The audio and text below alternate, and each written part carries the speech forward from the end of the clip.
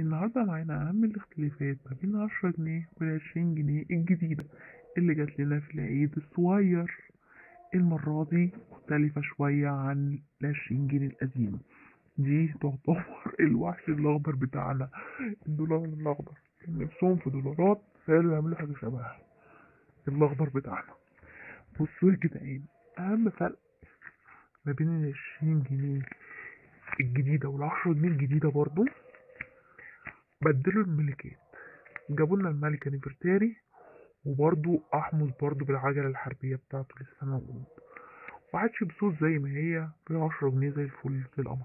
بس المساجد عندنا المسجد في العشرة جنيه مسجد عبد الفتاح العليم وفي العشرين جنيه عندنا المسجد التاني بتاع محمد علي. فانتوا شوفوا بقى مين الأحلى بالنسبة لكم واللي يعجبكم. استعوضوا ربنا فيه.